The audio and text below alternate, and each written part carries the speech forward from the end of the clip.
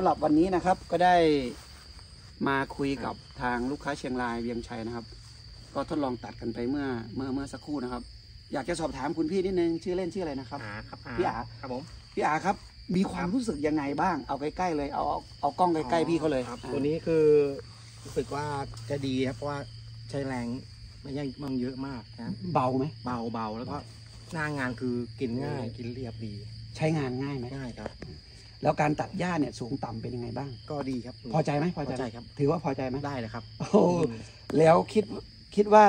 ฮะอ่าตอนเนี้ยน้ำมันเบนซินเนี่ยอ่าเครื่องเบนซินเนี่ย